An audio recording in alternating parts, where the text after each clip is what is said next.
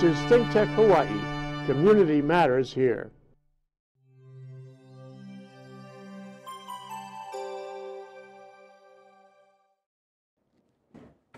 Aloha. I'm Marsha Joyner, and we are navigating the journey. Navigating the journey is dedicated to exploring the options and choices for the end of life care and to assist people to talk about their wishes. It's time to transform our culture so we shift from not talking about dying to talking about it. It's time to share the way we want to live our lives at the end of our lives and to communicate about the kind of care we want and don't want for ourselves. We believe that the time and place for this to begin is not in the intensive care unit, but together we can explore the various paths to life's ending. Together we can make these difficult conversations easier. Together we can make sure that our own wishes and those of our loved ones are expressed and respected. So if you're ready to join us, we ask, navigate the journey. And today, today is a mystical, magical day. It is, of course, a wonderful Wednesday because you're with us. It is Ash Wednesday. It is Valentine's Day, and it is the beginning of a solar eclipse. And when you put all that together, it is a magical time to think about us, to love us, to care about us. The Catholics talk about Lent and they talk about giving up. Okay. Jesus went up to the mountains for 40 days to meditate, to get in touch with his spiritual self, to learn about this. So that's what we're going to do. We're going to look at ourselves. We're going to look at this journey that life is on, that we are on. We are going to spend this day with my mystical, magical dear friend, Rea Fox. and Rea is an international interpreter of the Cards of Destiny system. Ah, Rea, yes. my love. Yes. yes. she is she is magical. She is just magical. So, I'm going to ask her to show us. But now I want you to take notes. Would you like to have a map of your life's journey? Ah. Mm. Ooh. Have you ever wanted to script, to take the script to take through life so that you can navigate the journey? Ah, and give yourself mm. permission to start all over. So that is what we're going to do. We're going to look at, on this magical day, mm. we are going to look at this system, International Destiny Card System. Ah, Rea, darling. So tell us, where do we begin? It is an international system, and as I was speaking about it here, because uh, I have international clients, but it is a worldwide system, an ancient system. Uh, the system is far beyond this time. It's not something that somebody made up yesterday, day before yesterday, and came out with this thing.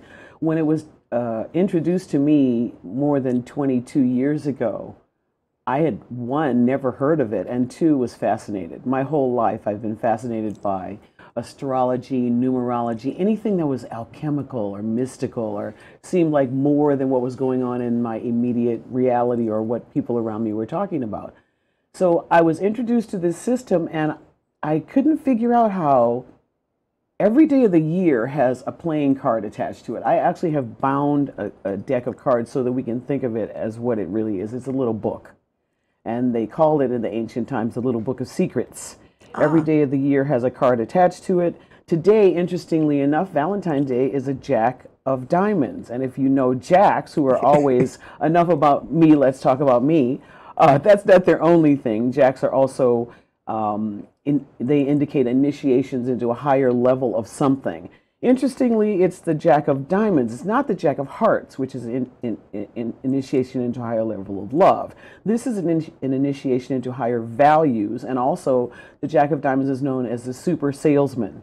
So if you think about Valentine's Day, it's a day to sell. Sell, yeah, and everybody sells, sells, sells. But But I mean, selling the love too, Yeah. making your your your beloved buy you, buy your. and however, attached to that is the guilt if you don't do it. So that's why I am saying Interesting. Oh yeah. If I am saying learn to do to love yourself so that if the somebody else doesn't do there's no guilt. I love me. I am going to take care of me. This is the beginning of Lent. I am going to nourish my body by not needing all eating all this junk. Uh, so that's why I'm saying don't if somebody doesn't give you something, don't do the guilt. Don't Oh. don't let go of the Oh, guilt. that, that's so far beyond my realm. I, I Just- I'm just- hearing just- you, but Just don't don't, Yeah. don't don't go down that road. Don't let the commercials tell you you got to have flowers that wilt and chocolate that makes you fat. Don't go down that road. well, that's a wonderful thing about this system because um, I remember before I was introduced to the system, I used to say things like, "Gosh, we're just thrown into Earth life, and we don't have a guidebook or a map. We're supposed to figure this out, and we're always starting all over again from square one. And God bless them, our parents don't know what they were doing either, so it's not what they could teach us basically, you know, how to navigate certain areas." areas of life, but for the navigation of the heart's journey and the soul's journey, which is what life really is, there was nothing. So I must say that I did not discover this system until I was well along in my life. And I'm not one to lament about what didn't happen before. Um, so, you know, I had to just kind of suck it up and move on. but it was kind of like, whoa. One of my sheer delights with the system is to work with people who are before 30. People Oh, between So that 18 and 30. No, no, no, no. You, no, that, that's not the point. I'm just saying that because when you have a sense of what the picture of life is, the overall picture of life, and there's a structure, and there's an unfoldment, and there's cycles of time, and there's um, uh, highlights, and there's lowlights, and there's times when um, you can move forward in this area love romance relationship uh, occupation real estate. There's time for beginning middle and end of things and this show the system shows all of these things and so i love to work with people i mean i have some clients actually that i've had since they were in their 20s and now they're in their 40s and they just thank me so profusely for the profound impact that the system and having this system um, and the difference that it's made in their lives, and uh, that that um, it humbles me tremendously. So, we have the the Jack of Diamonds, and that's today. Today, and and we're gonna you know we're gonna use you as an illustration, so I have to you know kind of like get your um, That's okay. you're okay. Oh, yeah. So Marsha, by her mm, May 22nd birthday, just to show how does this work, you know, because I could talk for hours about the Cards of Destiny system, but let's just go into it uh, with a solid example. So Marsha, uh, May 22nd, Yeah. two days before me, I'm so thrilled to say, uh, is a is a 10 of diamonds. 10 That- is no, a- always a a number of success. I'm sorry, it's not. I'm sorry. I'm talking too fast. I'll slow down. It's a 10 of clubs. She's a So 10 of t- talk to me. clubs. So uh, hearts are love, romance, relationship, as you would expect. Uh, femininity is expressed by the heart's mothering, uh, home and family, all heart suited Mm-hmm. areas. The clubs, which we are, is information, communication, talking to each other, talk, sharing talk. information. The professions of teaching, speaking, writing, publishing all fall under the auspices of the club suit. And the 10 of clubs specifically is success. All 10s are success. So if you have a 10 card, it's success in the area of communication. Um, the diamond suit, uh, which today is a diamond day, as I said, are is diamonds always indicate money, but larger than that, they indicate values. Values are personal values, family values, uh, community values, tribal values, country values, and then world values. So that's always important to remember. People get excited, diamonds, diamonds, but it's values as well. And then the spade suit that are really the elders. They're generally when a spade person is a spade suited person has a spade birthday, they're deeper. Spades on the mundane level govern work and health matters specifically, mm. but spades also have to do with wisdom. They're the wisdom suit. So you may find it's not always true, but most any spade suited person that you come in contact with has what I consider a little bit of a heavier load to carry because they can. They've been through the others before, and so they can. So Marsha is a 10 of clubs, a 10 of clubs, success in the um, in the realm of communication. This is a picture of the grand solar spread. This is what I Look this is what I um, work from. On one side is the mystic spread. It's laid out just like I have this book laid out from the first card to the last card. You're going all the way across, across, across, across, across. When you get to here, then you rise up to here. Um, and it, it's a fascinating journey. It's a fascinating picture of the journey of life, since that is what we're doing is navigating. I love that it's 11:11 right now. We're navigating the journey of life, and this little book really assists in that. Over here is the mundane spread, and this is where we read from. So you notice that here you are up here hmm. in the crown line. The oh. 10 of clubs is a teacher's card. I think of it really more of as, as, as an advocate uh, in that more ancient sense. Yeah. Uh, you're a person who teaches people how to advocate from the, for themselves, if you will. So, what that says about you, uh, you stand right next to the Eight of Diamonds. So, that is the mind spot. And as a Gemini, this is a very important card for you. But your uh, large sums of money have always been on your mind. When you, when I look at a ten of clubs, it's a rare ten of clubs that didn't grow up with everything that they needed. Nothing was lacking. Now, what does rich mean? Rich is in your own reality. How did you experience it? So you had everything that you needed. The the most prominent and meaningful card in Marsha Rose's destiny path, because what we're looking at is the destiny path on top, and then at the bottom is the reading for the year. But in your destiny path, look at that the King of Diamonds, which you stand right next to the King, excuse me, the King of Spades. Spades. Let me slow down just a tad. The King of Spades is the most powerful card in the deck, and you have the King of Spades as your Venus card. Oh. That means you see the whole world of love through the auspices of the King of Spades. You have love for everything and everyone. In your personal life, that means you would always have to be with a very powerful man because having the King of Spades as your Venus card makes you an extremely powerful woman.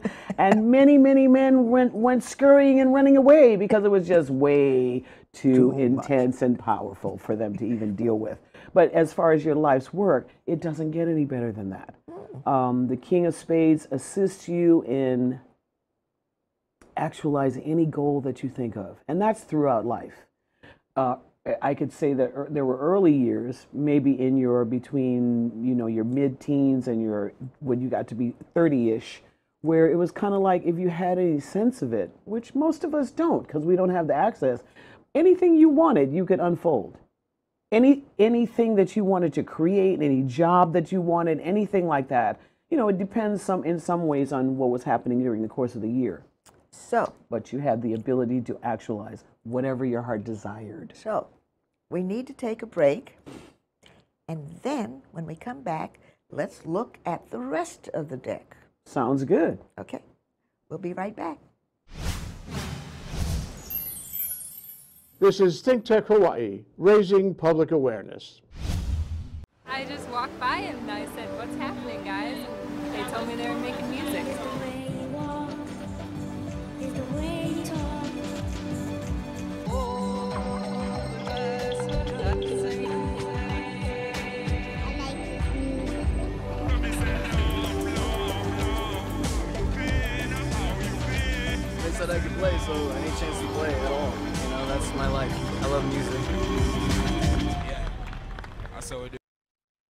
Aloha, welcome to Hawaii. This is Prince Dykes, your host of the Prince of Investing, coming to you guys each and every Tuesday at 11 a.m. right here on Think Tech Hawaii. Don't forget to come by and check out some of the great information on stocks, investing, your money, all the other great stuff, and I'll be your host. See you Tuesday. we are back with my dear friend Rea Fox, who is, all of you know, is the tent goddess. Yeah, if you Google tent goddess, there she is. I love it.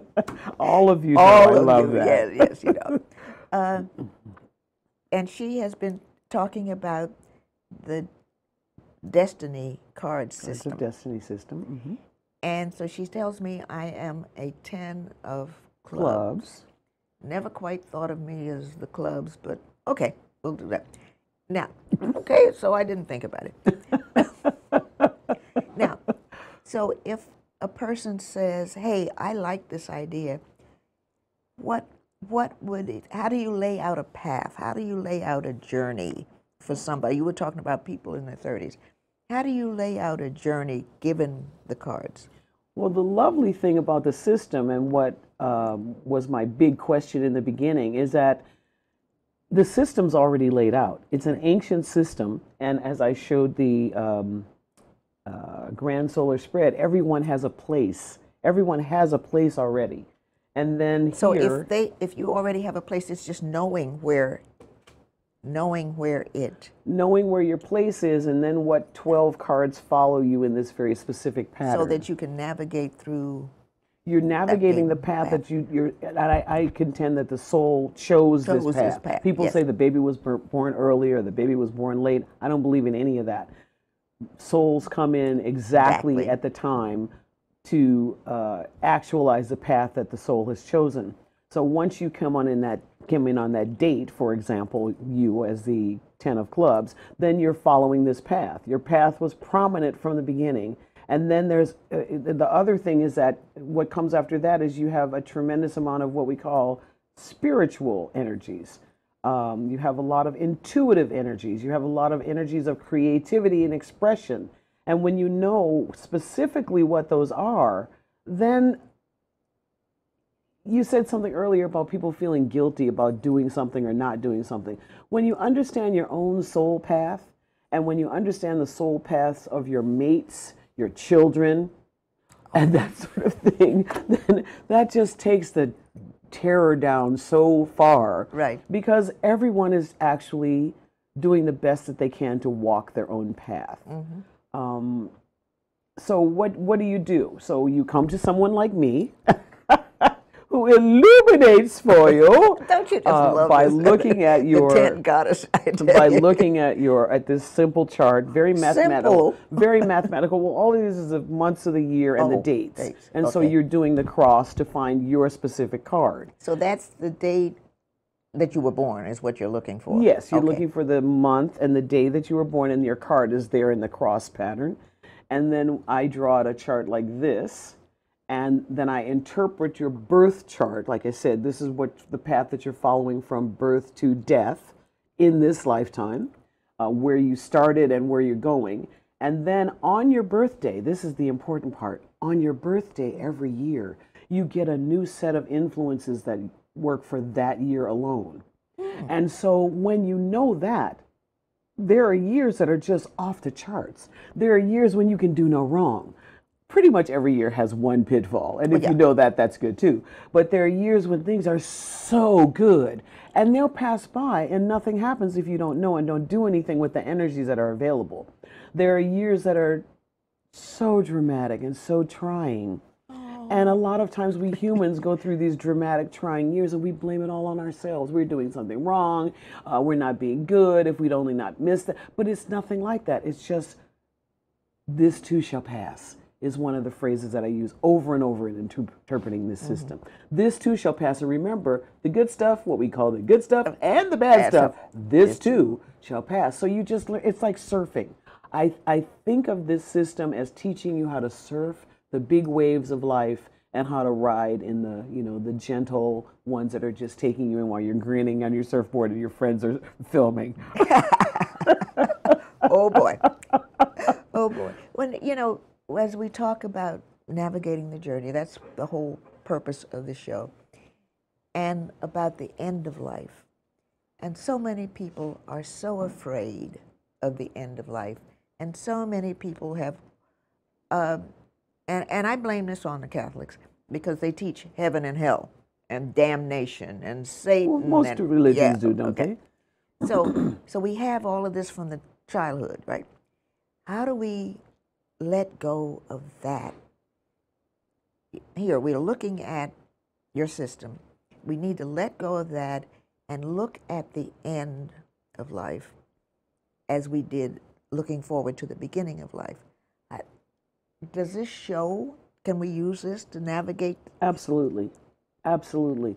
Um, I, I am uh, very uh, secure in telling certain people, looking at certain people's charts and saying, uh, I, I know that a lot of people are afraid of death, and you don't have to be, and a lot of people are afraid of, uh, you know, dementia, Right. deterioration, and there are certain charts where that's not going to happen no matter what. It's just not. So when you understand things like that, and there are others where there that, that may happen, and here's what you can do about it. So That's- it really becomes um, not something that you're at the effect of so much as you're driving. You came in here, you drove in here. How do you want to drive through and then drive out, of this course? yes. You know, and um, it becomes, I, I'm very playful about it. In, in my early times, I remember um, I offered a reading to a friend in this certain industry that I was involved in. And she said, okay. She was just open because I was thinking that she would, you know, recommend me to other people be careful of giving anything away like that. Uh, because what happened was I immediately saw, given the information that she gave me and the facts of what was happening in her life, that her mom was going to pass away that year at a specific time. And I shared that with her because I had already been taught not to uh, fumble or hold those kinds of things back. She was furious. Her mom absolutely did pass away at that time, and for for me, that's kind of like, well, I'd want to know so I can make spend some time and do what yes. needs. To me, that's just like that's inevitable. We we were born, we live life, and we pass on. So she was infuriated with me that I told her that I was going to. I'm, I'm sorry to laugh, but to me, it's just kind of like, really? And um, we have to get over that. Yes. We really have to embrace Yeah, I the reality. I uh, had my mother in hospice at home Mm. the last year of her life. Mm-hmm. And it was hard. It was difficult to watch the strongest woman I'd ever known Yes. pass. Yes. But it was also a time for loving her the way I wanted to love her, to be with her. And now you've known me a long time. You know I make a big deal out of everything. so I made a big deal out of she was with me when I took my first breath. Therefore, I need to be with her when she, takes, takes her her last. And I was. I crawled into bed. What a blessing. What it a blessing. It was a blessing. And that is the point of all of this. Our show is that we want to talk about it. We want to embrace it. We want to let go of the fear, the trauma, the pain, the ache. Yes, you know, we all know that you're going to miss this person. This has been somebody special in your life. But we need to talk about, we need to have this conversation about the end of life. And that's why I'm asking again about if a person knows that they're coming to the end or their loved one is coming to the end, how do we talk about it? How do we embrace it? That's my question to you. Hmm. Hmm. That's what what we want to we what I hope our audience takes away from every show we do is how do we embrace this? Well, embracing the reality that it is true. Yes. um, it is not something to avoid. In fact, I've known beautiful people in my life who had their celebration of life when they wanted it. Right. Because they wanted to be there. They wanted to party. They wanted to dance. They wanted to enjoy the food. You know, they're up in their, they're up in their 80s or 90s, but they wanted to have this party while they were there. there, yes. That's certainly one thing you can do. Um, that doesn't mean okay now I can go because I'm done. It's that's still up to you. I really believe that the soul, again, as it chooses its birth, the soul ultimately chooses how it will pass out of here. And when you can just play with and, and embrace that idea a little bit, I'm going to go when I want to go. I'm not going to be drug out of here. It's not going to happen in this wrenching way. I'm going to go when I want to go, when I desire. When I'm done with my life, I'm going to go. Um, I, I can already hear, you know, well, what about people, this happens to them or it comes unexpectedly. I still feel that on some level that we cannot understand. They've already made that choice and decision. They've already made that pact. So they're going when they want to go, whether they're aware of it or not. Um, I hope I'm answering the question Yes. that you're asking. Yes, and and I'm just saying that if if somebody watching and says, "Oh, that sounds interesting," would it be in? And this is this is the one you made for me. Yes. Okay, so would it be down here that we are? These are long range kinds of Those are your five main themes for the year. This is the this Long is the year from your no, not long range. This that what you're asking is about life path. Yes. There is a way to calculate in the cards. And like I said, this is an ancient system, so it's very much keyed into I from my experience of 22 years, it's keyed into us on a cellular level. So this is not just like ooh, airy fairy. It's very specific. It's very, for me, scientific. Um, and there is a way to calculate when you would leave. No one has ever asked me to do that, and so I don't. If I'm reading for someone and I see someone's passing that I know is close to them, unless they tell me I don't want to hear that, then I'm going to share that with them. Well, what I'm I'm asking, I guess, is that this is open to everyone, and you say this is a worldwide system. People do it all over the world. Ancient. Ancient system, Mm-hmm. and so it's proven itself over the years. in so many ways. So As I said, I'm humbled by the ways in which this system has proven itself in my life and in my clients' life. Well, lives. what I want more than anything is for our people who watch to be able to say, here's someone I can talk to. Here's someone that I can. Um, incidentally, she's not sponsoring the program, so don't go there.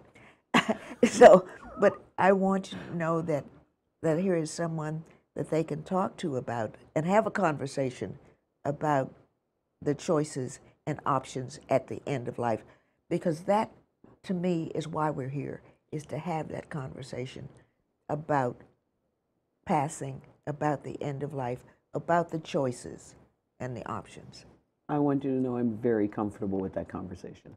so Okay?